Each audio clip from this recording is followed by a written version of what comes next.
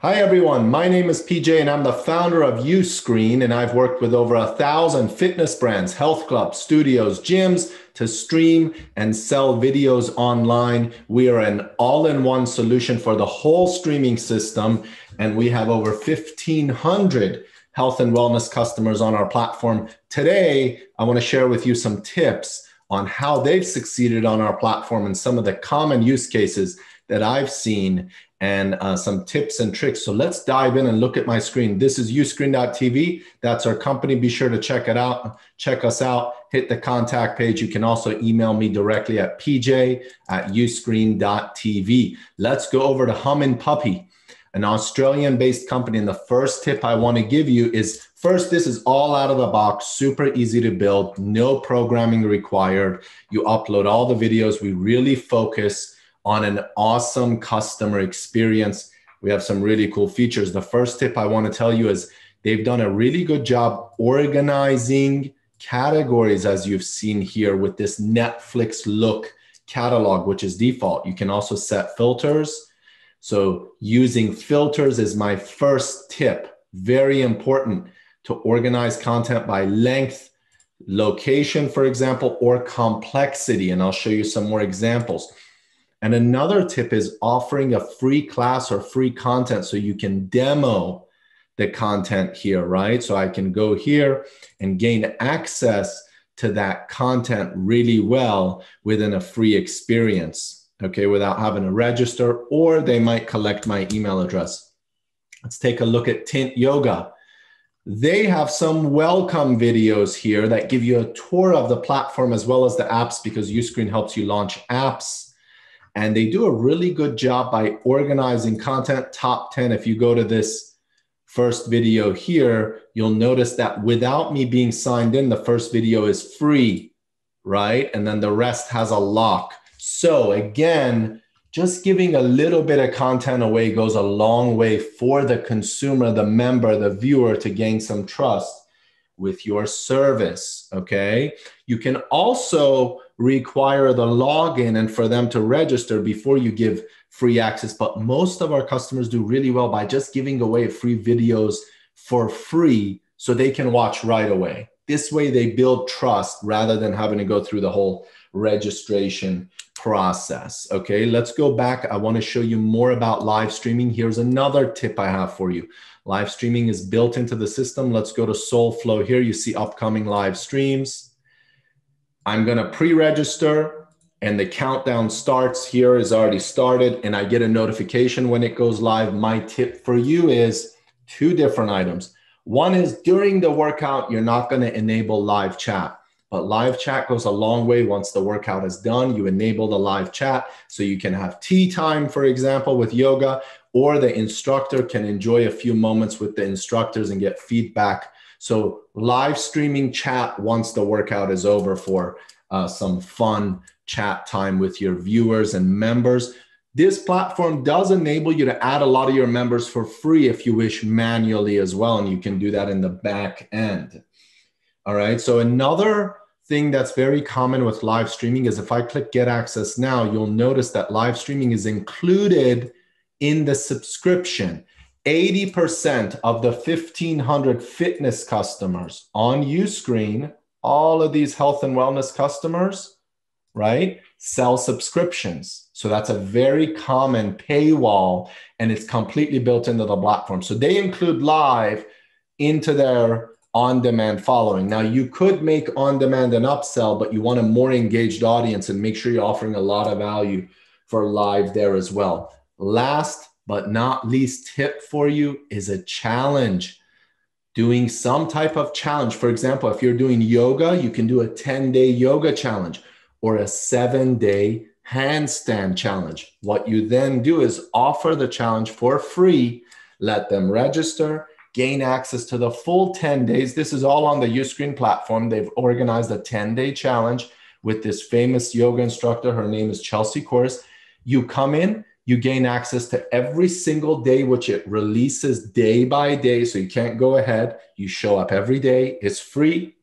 But then what's happening is every day I see all the other content which I need to buy, but the challenge is free.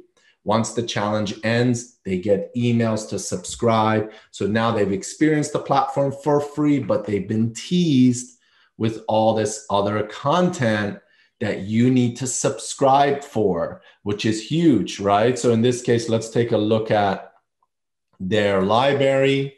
And I'm going to go to one of their videos and I can subscribe to this content to gain access. All right. Same with here. So they also do some uh, challenges as well. So challenges are huge. Get the users in. Here's a seven day vinyasa challenge. They get the users in. You requires registration here, and then uh, they experience the platform. As you see, they give away a small trailer and a small preview of the challenge away here as well. We have this really cool picture in picture that you can watch on the desktop as well. Some really cool features, Chromecast AirPlay built in. This full platform is all in one. Contact me, PJ at uscreen.tv. Don't forget, uh, the setup of this platform is completely code free. It's beautiful. We do a lot of improvements. We even have a roadmap, and you can manage the complete system within this uh, series. And we have a bunch of marketing tools, site tools, analytics, live streaming on demand built in. And you can get your own apps on iOS, Android. We even have an Apple Watch right here. Integration. Contact me if you have any questions. I'll look forward to seeing you on the panel, everybody. Thank you and have a great day.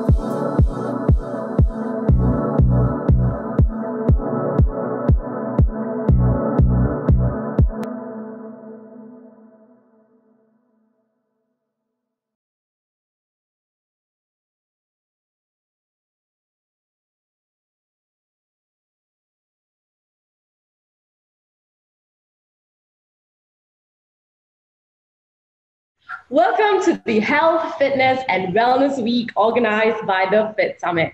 Today we are joined together in this esteemed panel talking about how will tomorrow's club serve tomorrow's members.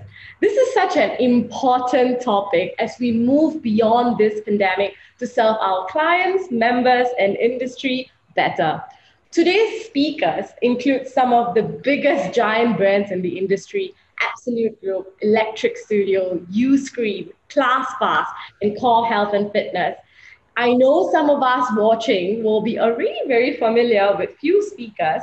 Nevertheless, could each of you please introduce yourself and your brand in one minute? So for now, let's start with Sam. Awesome.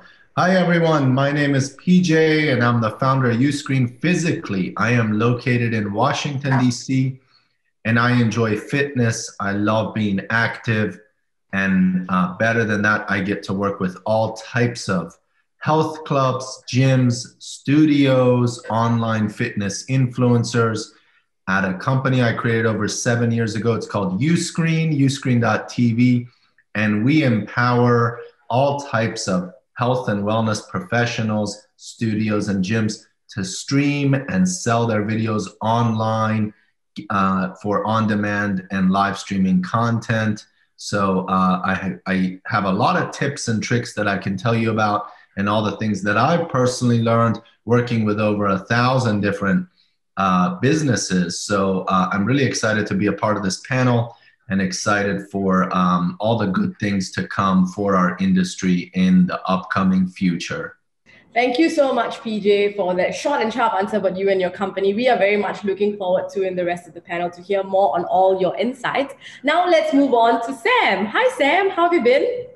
Very well, thank you. My name is Sam Canavan. I'm the managing director of ClassPass Asia Pacific, overseeing the 10 different countries that ClassPass operates in in APAC, splitting my time between Singapore and Sydney at the moment. For those of you who don't know ClassPass, we are the world's biggest fitness and wellness subscription. So it's an app and a website that allows our users in 30 countries to access. At the moment, we're up to more than 40,000 venues across the world. So it's everything from your yoga studio to your HIIT, your massage, your facial, to some some hotels, which I know you particularly enjoy, Sarah. So an app, you get access to, to all of these locations using an internal currency that we built called credits. And your credit price is going to be surged up or down based on the direct pricing of that listing and the supply and demand. So you might see Grab or Uber surging prices up or down. ClassPass does the same thing with your credits. So excited to be on the panel and hopefully can share some interesting insights.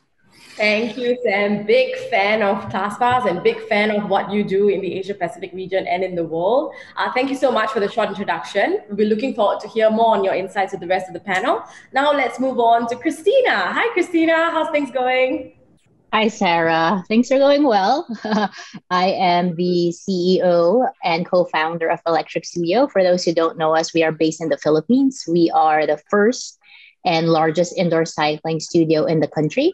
Since the pandemic hit, we have had to also expand our offering. So we now offer Electric Studio rhythm boxing, strength training, HIIT, flow, and core.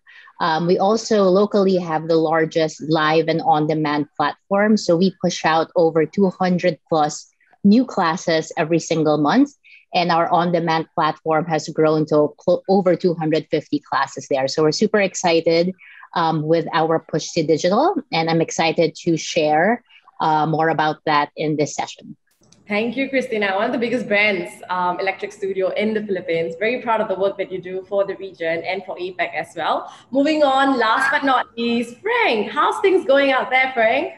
Hi, Sarah. Thank you for having me. Yes, I'm, I'm Frank O'Rourke with Core Health and Fitness. We have uh, five uh, commercial equipment brands. Uh, that's Stairmaster, Star Trac, Nautilus, Schwinn, and our most recent acquisition brand is Throwdown, which was one of our functional uh, training uh, entries into, uh, into our portfolio of brands.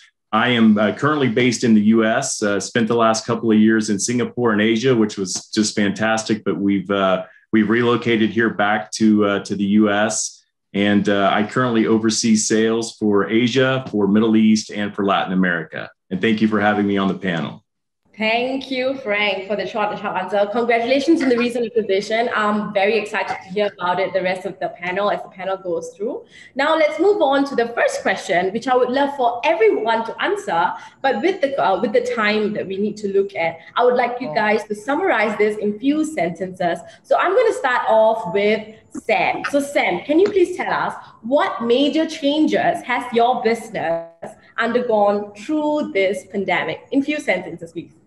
I love it, Sarah. You're trying to curtail everybody's answers. We, we couldn't have had a larger suite of changes at ClassPass, to be honest. So, of course, our job is to merchandise excess inventory from studios and gyms and spa and beauty venues. And uh, when COVID hit, all of that got shut down. So we had revenue fall by 98%. We were forced to cut our OPEX in as many ways as we possibly could. And it was a a stark realization that, that revenues do not make a business sometimes so much as your cost base. So the last 12 months for us has been an exercise in consolidation to make sure that we can come out the other side of COVID as strong as possible for our studio partners so that when people can't start streaming back to in-person experiences, ClassPass can be there to help drive revenue to them. So we're going to get to that point, which is really exciting.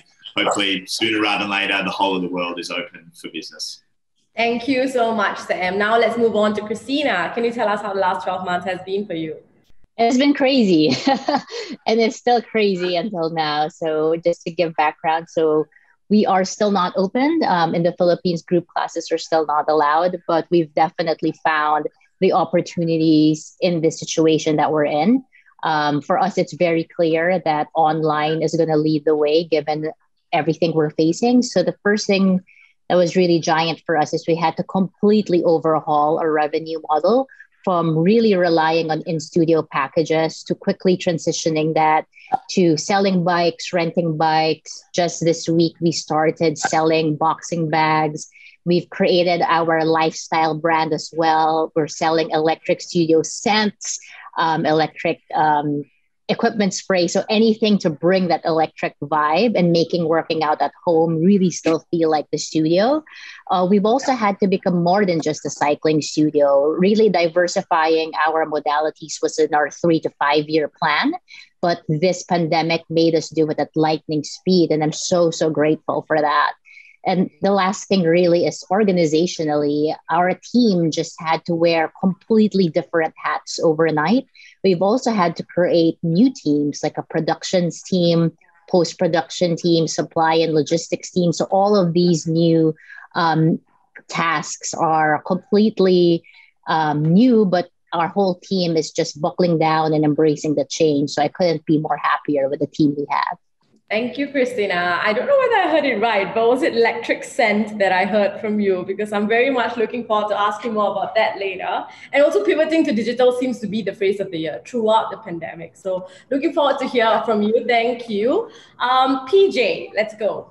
So the last 12 months have absolutely been challenging for so many different businesses, and we've had uh, a huge undertaking on our side and the privilege to help so many different businesses uh, the health and wellness industry to stream uh, their videos. We had to quickly pivot and make some changes on our side and really have an implementation priority to help so many businesses uh, stream their vid- videos online. And uh, we've been able to work with big brands such as SoulCycle, Rumble Boxing, multiple different uh, brands within the Asia Pacific as well to stream their videos. Cycling is very popular, as well as other HIIT programs. And um, the on demand and live streaming uh, really acceleration of this industry gave us the opportunity to better our services and offer an all in one platform that really helped uh, these companies build their online presence with an awesome experience that we really work hard to provide. So we're very grateful to be in this position to be able to work with so many businesses, but we also had the opportunity and the responsibility to do a really good job in a short amount of time to help onboard the number of customers that came to us extremely quickly. So that was a responsibility on our side. Thank you so much, PJ. Looking forward to hear how that extra responsibility came through uh, during this pandemic. Uh, last but not least, Frank, tell us what's going on. Yeah, well, similar, you know, similar to PJ, we certainly had some challenges in our business over the last 12 months as well. You know, just with the the club and the studio closures that that really transpired we saw a dip in our overall commercial sales, uh, and it hit our division particularly hard in Asia, as Kristina has been, you know, referencing what's been happening in, in the Philippines. Latin America was hit extremely hard as well. You know, our our primary lines that did do well were indoor cycling, bike sales, and our light commercial cardio line. Uh, and I believe that really for all commercial equipment companies, that was really, you know, everyone was really impacted, you know, similar to, to core. Uh, our factory now we do produce, you know, retail products for, you know, it's for country or companies in uh, North America that are distributing those products. And so as soon as the workers were actually able to get back to work and uh, the factory was up operating, we were at full capacity within a few weeks of everyone coming back to work in, in China. Uh, we certainly saw some internal price increases as well. And this was really coming from our uh, material suppliers. And we had some increase in our ocean shipping costs that, uh, that we really took those costs on internally. And it did impact, you know, obviously, you know, our margins, but we, we absorbed those costs and did not pass those off to our customers. Thank you so much, Frank, for sharing that. It was really insightful to see. I think online retail really took a, a hit during this period. I would love to hear more about this later. Moving on to the next question, guys. Um, I would like to pose this question to Kristina and Frank. Kristina, you can go first. What customer trends or behaviors are you now seeing, and how are these impacting your current planning and decision making? Thanks, Sarah. So for us, and I know we're in a completely unique environment, other markets are already ready to kick COVID in the butt. Um, we are still tackling it face on, but I look to these other markets as really, um, you know, like a magic ball. And I know things are going to be okay and things are going to be back to normal because other markets are open. So I'm really looking forward to that. But in terms of us and our situation, um, because um, COVID is still a situation that we're currently tackling, one of the biggest trends we're seeing is now more and more people are really adapting to online. Last year, you still had a cohort of people that didn't believe in it or were really waiting for the studios to open. And because things have lasted a year, we're seeing people say, okay, I'm going to give this a shot. I'm going to give this online classes a workout, uh, this online class a shot. So because of that, we're really seeing still a continuous wave of people wanting bikes from us. Um, so we've been working with Frank's team a lot. Um, we've also started offering other equipment to really make working out at home an easy choice. Um, we have continued to find ways to make owning a bike or owning equipment more affordable. So things we've really started to push out is could we allow some of our studio credits, which we've frozen, and allow it to offset some of the cost of owning a bike. Other things we've tried is to make owning multiple bikes um, a lot more affordable. And believe it or not, our community is crazy. People don't want to share their bike at home. People want to work out together doing the same class at home. Um, we've also offered installment efforts or even ways for people to rent and own a bike. So, all of these ways for us, all of these things is really essential for us because getting that piece of equipment in is their way to really stay in the electric network and stay into our platform. The other thing we're seeing is people are consuming content communally. So I kind of touched on this a while ago is because people are stuck at home, families are stuck at home, partners are stuck at home, people are trying to find ways to do people are trying to find things to do things together. So a lot of times we really will see families work out together or ride together. So this for us is really fascinating.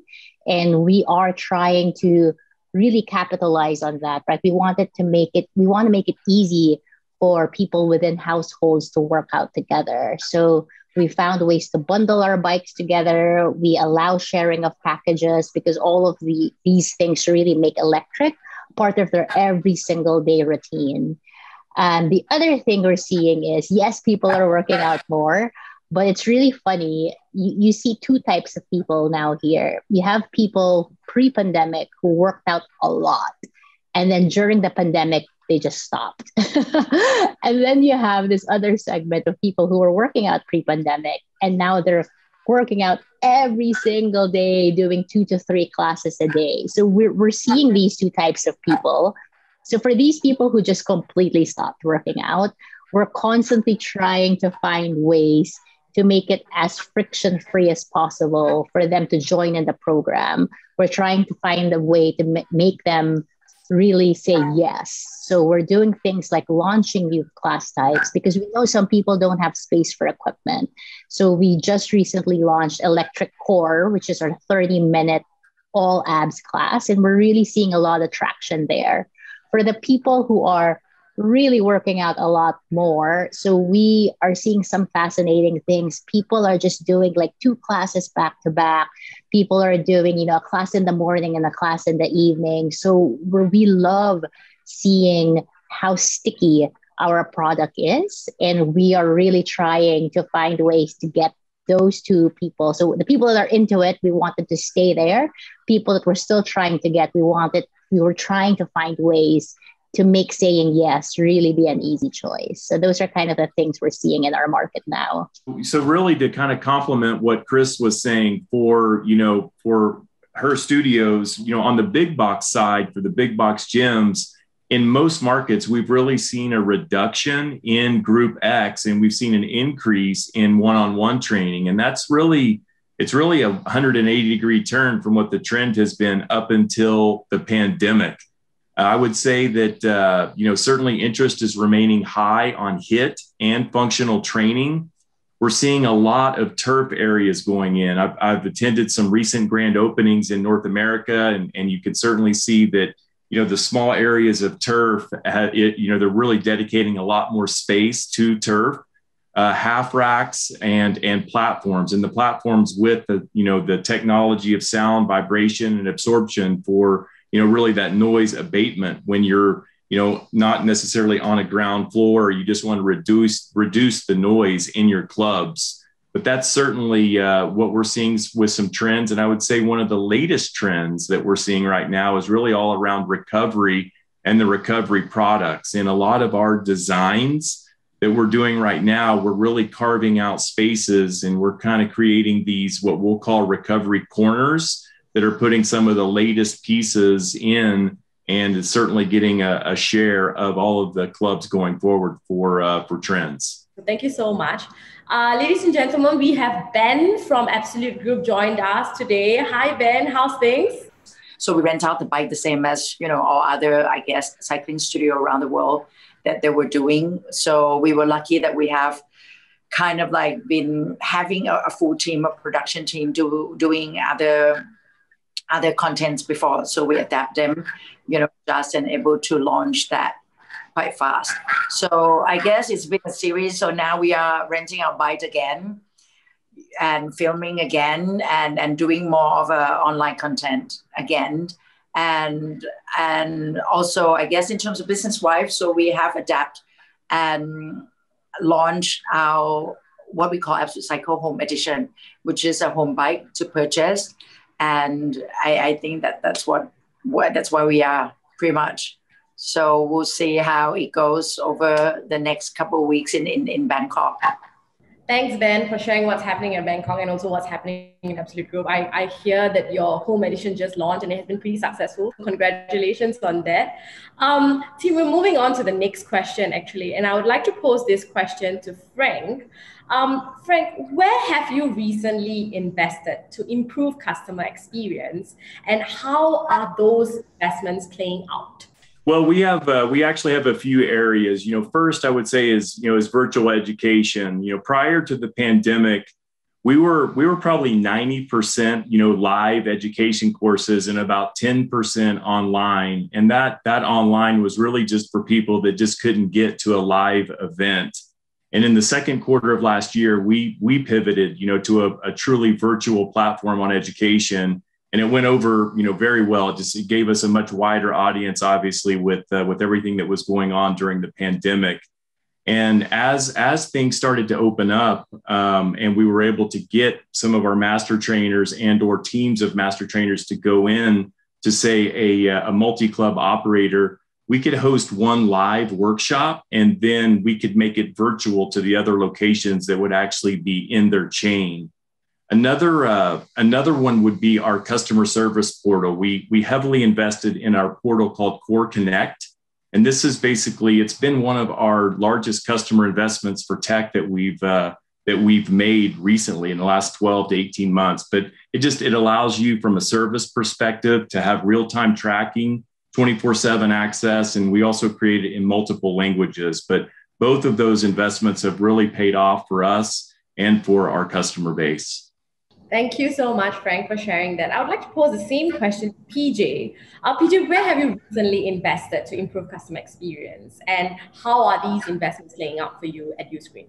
Great question, Sarah. So for us, a big movement for our customers and their requirements has been live streaming uh, due to the fact that things are really locked down in various locations uh, the one of the best ways to engage and uh, your community is to do live streaming. So we quickly launched live chat on our live streaming. When we did so, we enable. Um, you can actually at the end of a class enable live chat or send a zoom link and then have a coffee chat or a chit chat with the students and the instructors which is a great idea so we've invested heavily in our live stream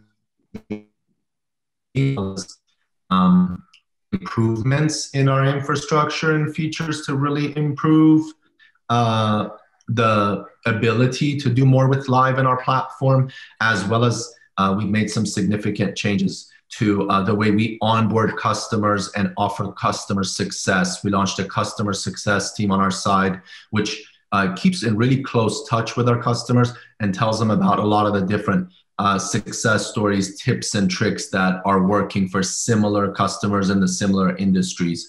And that has been adopted really well. We launched that program about three months ago. So we focused heavily on onboarding, customer success, and the long term um, ability to help our customers succeed with uh, what we offer because a lot of the different uh, health and wellness businesses that joined us joined us in a rush and joined us in an urgent matter. So we were uh, able to pretty much take that content and uh, their use case and uh, offer the best practices for them moving forward. So um, we're going to continue to do that and continue to improve our platform and onboarding for the various different customers that uh, we gain and, and nurture in the short term and long term. Thank you so much, PJ, for answering that question. I think one of the common words that I keep hearing from you is onboarding. Onboarding has been so critical for Uscreen. So I'd love to hear more about that later as, as the panel moves on. So thank you so much for sharing that. Um, moving on to the next question, which I would love to hear from ClassPass. You know, uh, Seb, can you share your thoughts on the future of digital fitness and wellness, like you know, live stream, on demand, content, platforms, engagement. What's been going on in that space? Absolutely. So COVID, as we know, I think we we all on the same page here that, that it has been a great accelerant more so than a change agent. So we saw some trends around digital fitness consumption coming up with a Kayla Itsines or a Chris Hemsworth Centr or a Peloton pre-COVID. And then anybody who's watched Peloton share price, I mean, was lucky enough to invest in February 2020, has, uh, has seen that's kind of a good little proxy for just how much digital fitness has exploded. So there's no doubt that it's accelerated our consumption of digital fitness and that it's here to stay.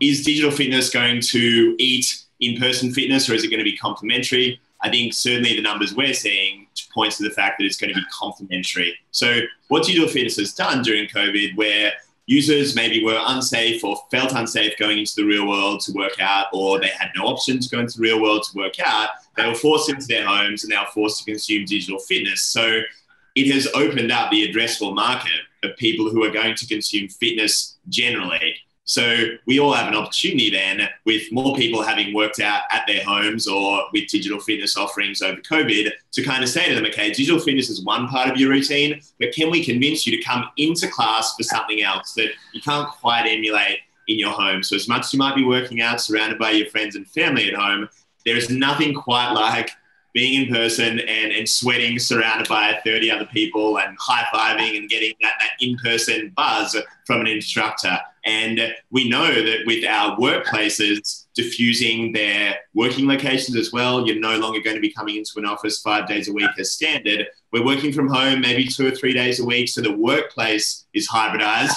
Probably a great sort of, again, proxy for just how well that hybridization is going is the fact that WeWork is now going to IPO again with a, a nice healthy valuation. So people are seeing, okay, we need to be working from home, but coming in person to connect at a WeWork in a community in a shared space. I think it's a reasonable analogy for studio fitness. We're going to be working from home, but we're actually going to be less connected to people in real life than before because we're not forced to go in an office. So, our job, I think, as studio fitness operators is to convince people of the merits and to overturn the recency bias where people have forgotten just how good it is to come back into a physical location. So, I see a hybrid world definitely where digital is not a replacement for in person, but it can be complementary and it can expand the addressable market of people just interested in fitness generally. And then it's our job to show them that in person has some special sauce and that the digital component has the convenience that in person doesn't have. And I think they can marry together really nicely. Completely agree with you, Sam. I think the key word here is complementary, and you guys are doing a really good job in that. For me personally, when I was working out during the pandemic at home, I thought that, okay, I could actually get used to it until I stepped into the studio, also booking via ClassPass, and I realized how much I have missed the studio experience. So complementary is the key moving forward. Thank you so much for sharing that. Uh, moving on to Ben, I'd like to ask you the same question. Now with, you know, um, Absolute Home uh, launching, and can you sh- share your thoughts on the future of the digital fitness or wellness? Yes, I mean, I think, you know, just just to make a, a point as well that I totally agree with Sam that you know people ask us as well this kind of question that is this digital fitness going to be replacing um, and in studio fitness. And I, I totally agree that, um, you know, I mean, I'm not saying that digital fitness will be a short term, but it's rather going to be, you know, I, mean, it's going to be a short term or a long term because obviously for some people it can be a little bit a long term.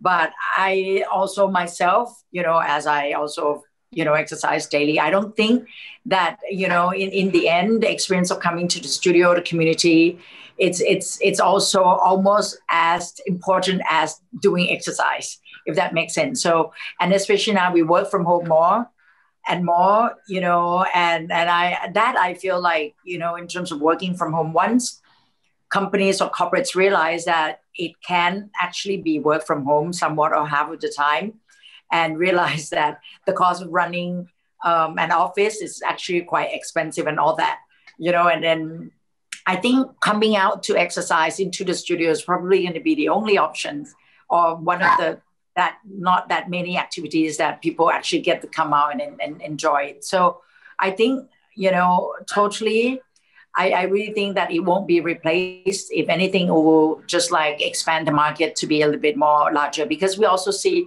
people who actually, you know, have experience around home bike you know, through either because we also put in Singapore, we also put some of this home edition in, into corporates.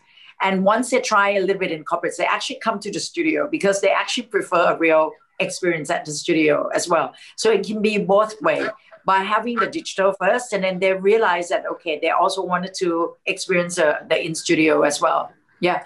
So to answer your question in terms of our plan, um, you know, as I mentioned before, you know, like home edition has been on a card for quite some times, but you know, without, I, I guess, with the pandemic, it has pushed out, you know, much faster. And I think our plan going forward is to come, you know, uh, can be segregated on a few things. Number one is to further develop the product you know, because the product is still it, it's functional, it's doable, and people enjoy it. But obviously, it is we can always improve the experience, especially on the on the community you know level how do we how can we interact and and all those features that i think at the moment given the time that we need to push it out you know the what we have more concentrated more on is is to perfect the content itself now the content has been i would say very very well adjusted and people are happy. Now it's it's the next level would be how do we interact all these home riders together?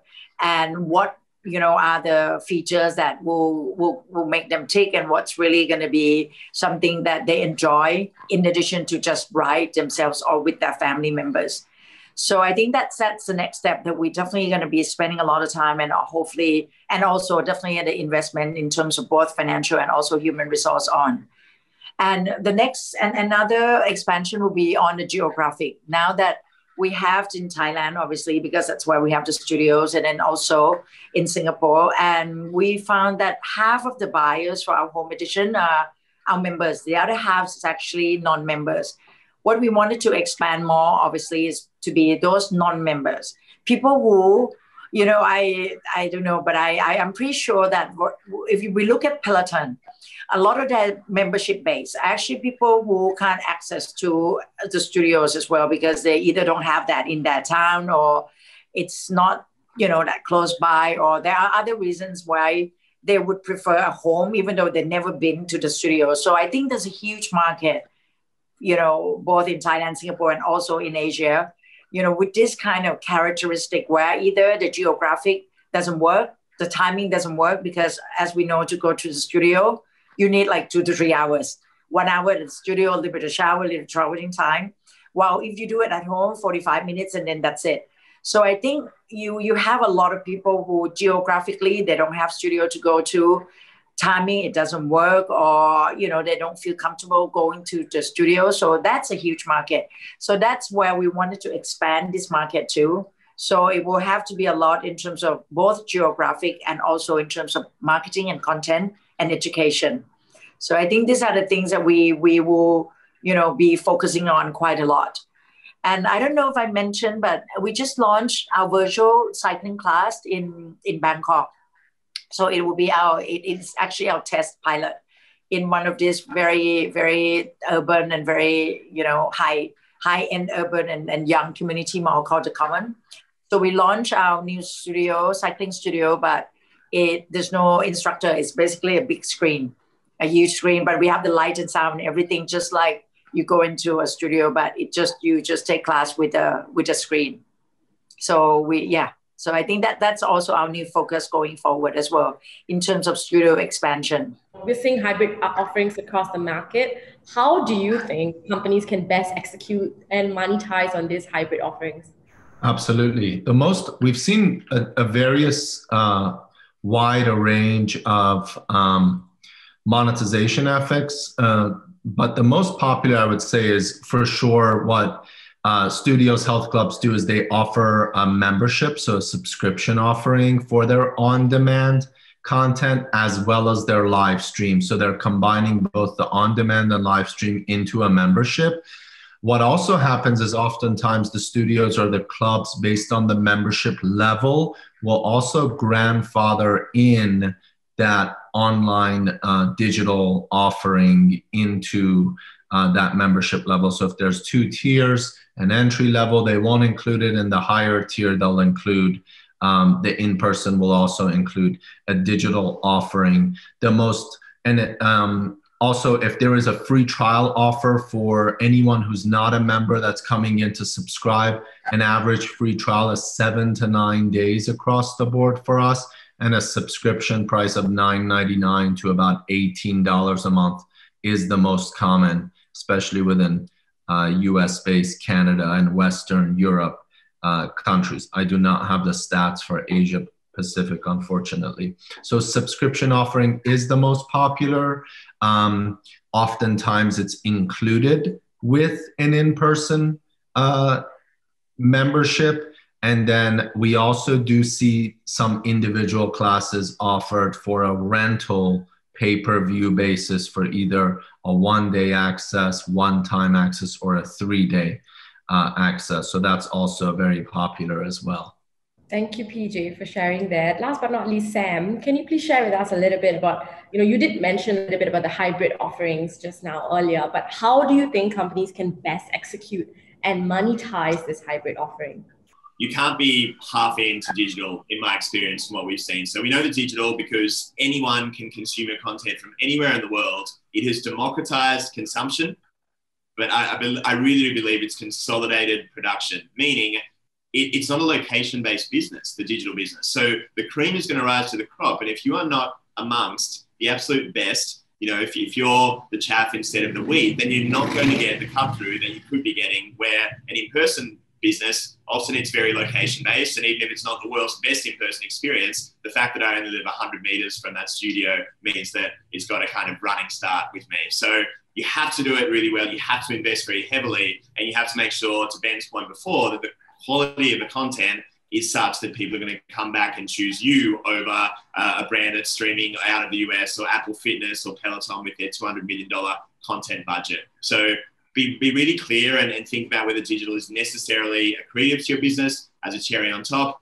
And the other thing as well is to ask your users because it's going to be different studio to studio to studio. They might say digital for me is not going to be a defining factor in whether or not I churn out of a membership from your studio. I would prefer to see a better instructor or more lenient cancel policies or a different type of equipment or scheduling, whatever it is, you can be guided by your users. I wouldn't say you should blindly invest in digital because it's kind of the, the zeitgeist at the moment, because you know there are competitors who are only doing digital with huge budgets where anyone can consume that content from anywhere in the world. So, so be strategic about it and, and employ some design thinking to understand whether your users are really going to resonate with your digital.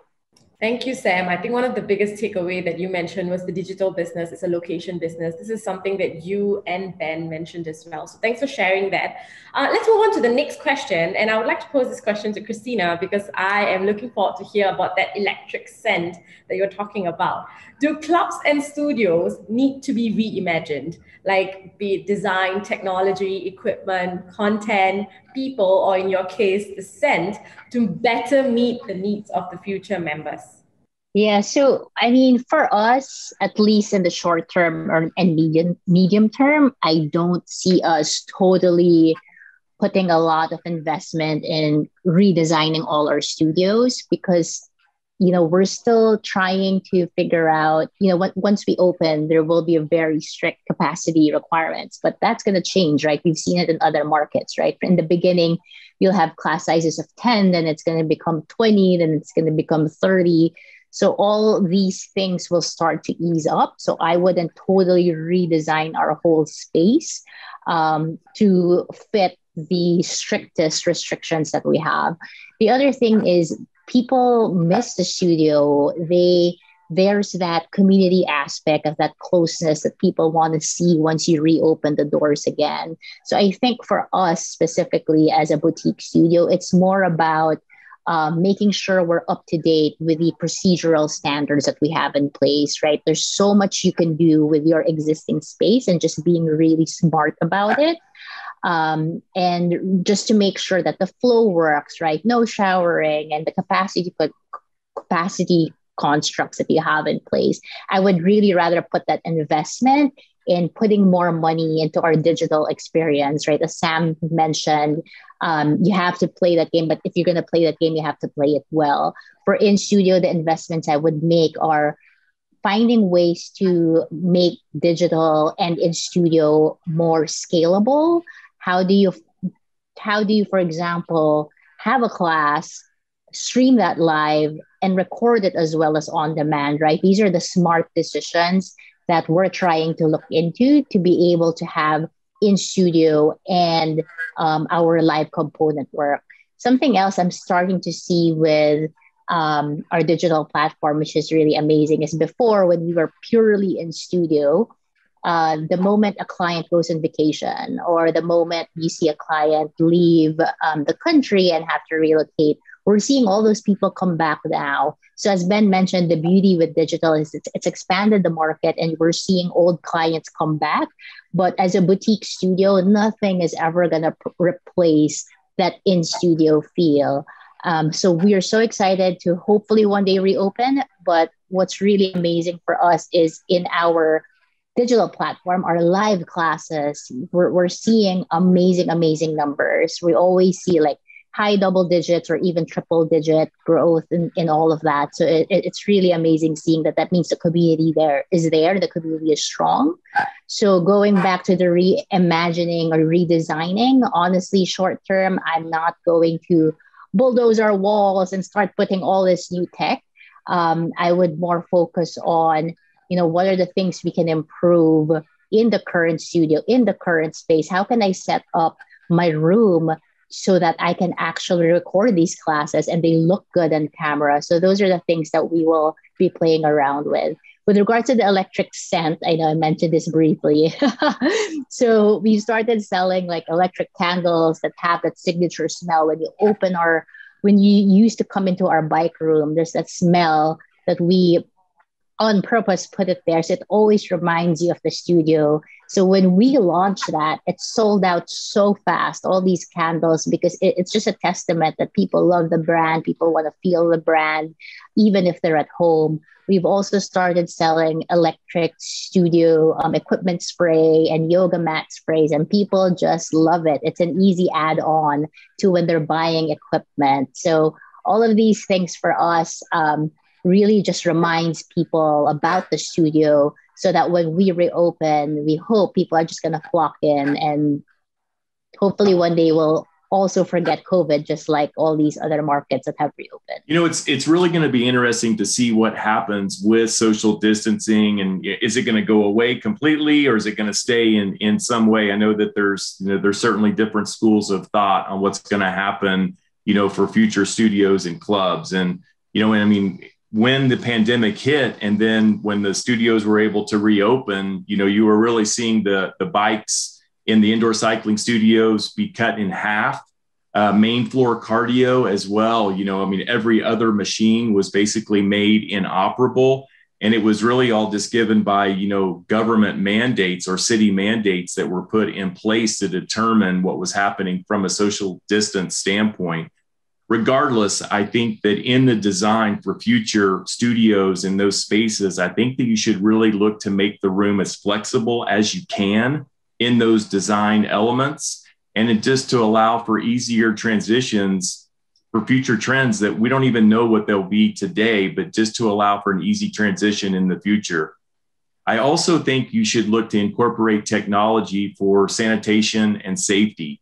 Uh, you know, antimicrobials, you know, are, are you're seeing different ones being advertised and being implemented in a lot of the clubs today, and the UV light systems and having ample PPE and, and cleaning stations just spaced throughout your facility to allow people to clean the machines or clean their hands before and after the use, I think is uh, going to be very important in the future design. And, and also, I think that it's important to keep the instructors in mind to, to minimize their fatigue, knowing that they're there teaching hours, you know, throughout the day and coaching and, and, uh, and just spending so much time that anything that you can do to assist your instructors is certainly uh, you know good planning for the future and could actually even be used as a recruitment tool for your facility. Sam, I believe that you wanted to like share a little bit about what's happening in the clubs and studios. So tell us, tell us a little bit more. Uh, yeah, really quickly, I have a very firm view on this. So, a uh, couple of things. So, a lot of studios we talk to have hypotheses, I guess, about what their members want.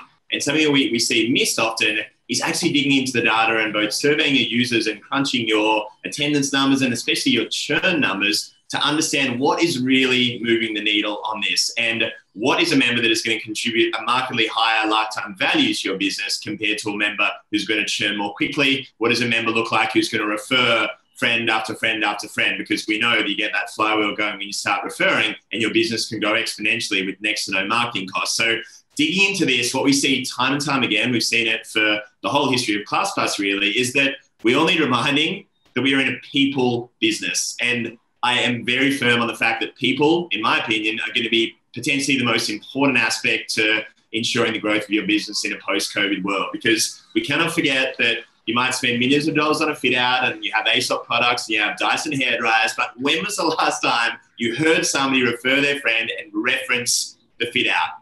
people buy people. People buy stories, not spreadsheets, and people remember the way you made them feel, not what you said necessarily. So we, we just have to have that at the core of our thinking in coming back to in-person experiences, thinking about the fact that we're going to have less connection than, than ever before because we're not going into offices. We've been marooned at home for the last two years, working out online. And the special sauce in coming in person to fitness is going to be are you a member of the community? Can you have some progressive overload in your training? Can you have that high five again? Can you meet new people? Can you, I don't know, is there a potential, you know, spouse in, in the class next to you? I don't know, but these are not things that people are going to be able to get from their lounge rooms. Increasingly, we're going to get them less from workplaces. And so I believe it's our biggest responsibility to prioritize what is the face to face experience that your trainers are giving, that your front desk staff are giving, that your community is giving, it to make sure that, that people are going to stick with your business because I, I firmly believe that the stickiness of a studio fitness user is going to be directly proportionate to the amount of community they feel and the quality of the human to human interaction they feel as well. They're very, very firm on this. No technology or millions of dollar fit outs can override the, the community feel and the people. Thank you so much, Sam, for sharing that. You know, we've come down to our final questions, and because of the time, I would like to give this opportunity to PJ, Ben, and Frank to actually, um, you know, close it off with final words. Like, you know, just in two sentences, what's the next twelve months? What excites you most about the next twelve months? Uh, maybe, uh, Frank, you can go first. So we want to continue to really grow with our key account customers, you know, throughout Australasia and the Middle East. You know, we've built some really solid partnerships over the last few years, and we want to continue to just build off of that momentum. I mean, we've got, you know, great partners like, you know, like Ben and like Chris, you know, here with Absolute and Electric. And, you know some of our other you know great partners like fit 247 and UFC gym. And of course evolution wellness has been just a great partner the last few years that we're really looking to grow with. Additionally we want to secure some additional financing options. You know we've had some really positive movement as of recent uh, to secure some financing relationships on a global level. And we're really looking to develop more of those relationships to where we can help you know not only startups but our existing customers to finance product so we're really excited about the future within our financing tools that we're going to have available In addition, on our retail and home fitness, you know, we've got a multi-year roadmap where we're going to continue to innovate and bring products to market that do have a consumer orientation, but they'll also they're going to really need to hit that price point that the consumers can can afford to put into the home. So we're uh, we're looking forward to that. We we do expect more growth in our e-commerce platforms where we have our direct offices. So that's another area where we're investing now for the future uh, with our direct offices. As far as, you know, like personally, what I'm excited about, I'm excited about just getting on a plane again and being able to travel to see our partners, you know, throughout, you know, all of these wonderful countries throughout Asia and throughout the Middle East and, and Latin America. And really just looking forward to the return of the gym and those studio in club workouts and just less talk about, you know, all the different vaccines and what's available and you know clubs entering shutdowns and then reopening. And i do believe that there's a huge opportunity for all of the new people the new health seekers that are looking to get more fit. And i'm super excited about that. Uh, next be jay. Can you please just summarize with us what excites you about the next 12 months Absolutely. I'm an in person uh, gym goer myself, so I'm very excited for the industry to open back up and uh, not have to wear a mask uh, when going to the gym. So I'm really excited for things to go back to normal, travel, gyms, group classes, all that good stuff. And uh, I know we've all adopted new behaviors, but I'm pretty confident that we're all going to return back to the gyms, but most likely not to the offices. I think we're pretty accustomed to working from home now. So uh, you know, I'm excited for uh, things returning back to normal fairly quickly. I think the next 12 months will go by pretty quickly and we'll be back to where we were. Thank you, PJ. Last but not least, Ben, could you please let us know what excites you with the next 12 months? Yeah, I guess it's more or less the same as everyone. You know, hopefully in the next six to 12 months, some country maybe a little bit short sooner, some country maybe a little bit longer, that we can go back to a little bit of normality you know, I know that we talk a lot about the new normal and all that stuff, but you know, I'm for one, maybe I'm a little bit older than this younger generation. that I think, you know, uh, just like Sam said, you know, human connection is essential to our lives. So no matter how advanced digital and all that, which is nice and great, it can't be replaced.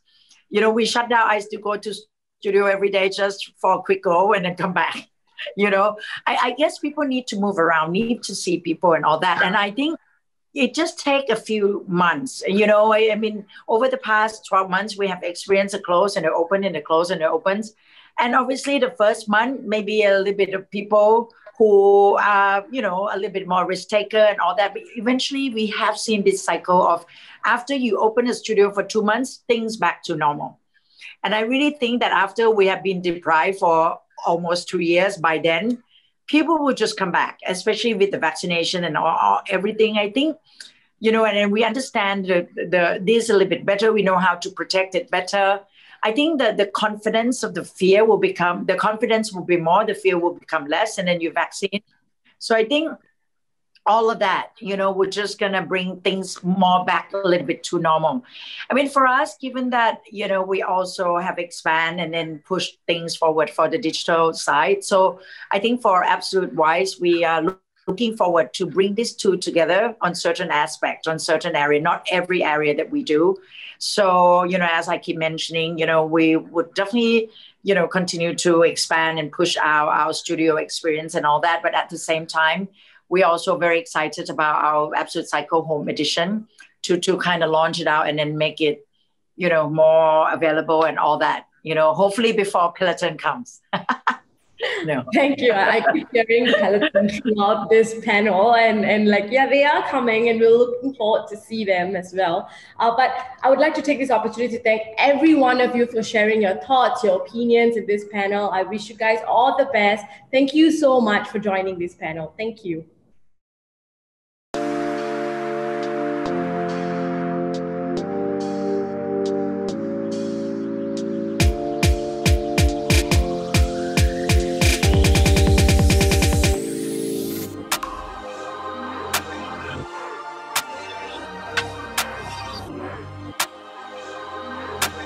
So we're creating a whole new category of fit that uses stackable resistance band technology, or what we call our TUT plates, to replace bulky home gym equipment or your traditional metal plates.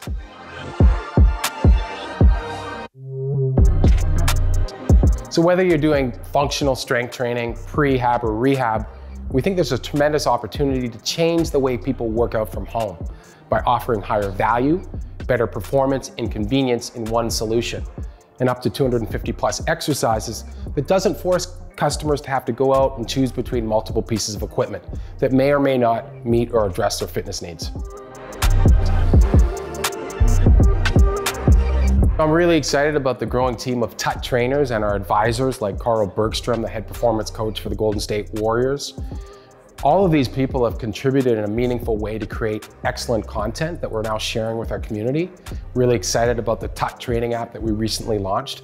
And at the end of the day, we want to impact a billion lives. We want to make fitness products and exercising from home more affordable and more accessible. It's really important to us.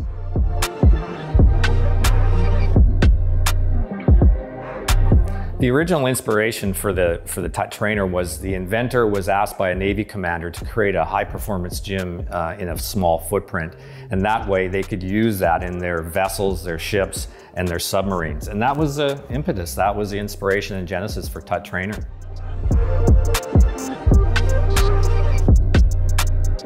Why we chose uh, resistance bands is we looked at a lot of different types of technology and we considered a lot of different types of exercises. We looked at magnetic resistance exercises, we looked at weight systems, then we took in consideration types of exercises like eccentric, concentric, explosive exercises, and how do we make the gym portable? And how do we make it lightweight? And in the end, it had to be resistance bands. It had to be our TUT plate technology. The cool aspect about our TUT plates is if you're looking for a little bit more resistance and heavier strength, you can add on or take off depending on how you're feeling that day. So if you wanted to do higher reps, you can do lower resistance with your TUT plates by just easily taking them off and stacking on for an extra strength. We have a very unique power bar. It's adjustable. So you can use this power bar for compound exercises like bench press, shoulder press, squats, the ideal thing is, is you can use it and you can adjust. So you can do offset bench, offset shoulder press. No one else in the world has anything like it. The swivel feature, we call it the swivel feature, is very unique. Just imagine when you're working out in a gym and you're using a weight stack or universal gym, you're forced to travel on the track that that gym provides. It doesn't really engage your, your core. Our system swivels, it's more, it's safer if you have an injury. It's better suited for your injury. And also, of course, it really engages your core when it's swiveling like that.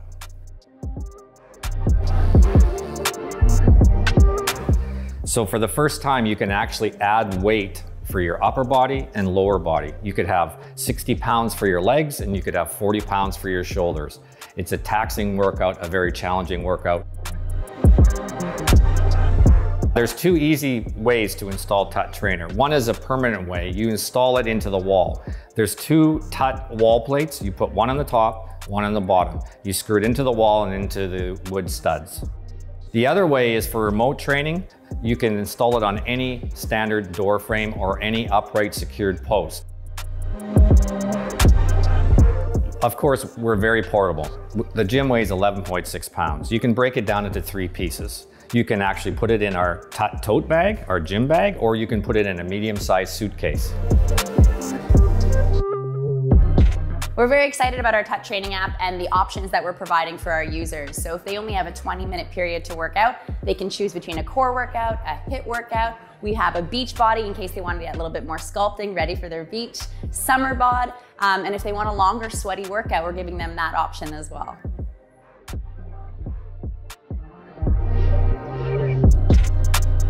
We see a great opportunity with partners. We see a great opportunity to partner with them with our stackable resistance band technology. Just walk into any fitness store and you're gonna see universal gyms, weight stack systems. Just imagine our stackable resistance bands replacing those weight stacks, replacing those universal gyms.